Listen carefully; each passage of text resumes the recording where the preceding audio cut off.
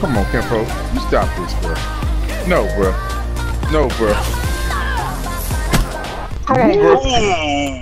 Y'all know y'all on YouTube. All right, we back with another Wild and Out Wednesday, man. Let's see what we got, man. I love editing this, so I had to bring it back. Number five clip. We got that boy, uh, OG Billy Cook, man. Y'all go check him out on Twitch. Cook for life, man. Oh man, he got that boy backstroking. Oh my lord. And then green light, I see you. Throw in the towel, Mac. it's so with. That boy got to lead the gym. Number four clip, man.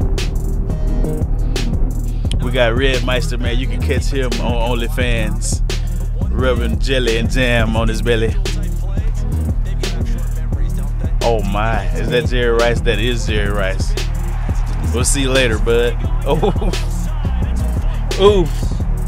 That crossover was better than the last one. Jeez. He had that boy going to get nachos. Lord have mercy, I'm about to bust. About to bust. Number three clip, man. What's up? Let's see what we got. Oh, we got that boy Knife Happy, man. This is a pretty dope clip.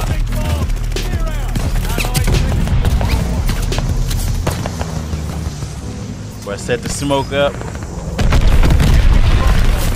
Long range through the smoke. I love it, Knife Happy. Keep up the great work, my boy.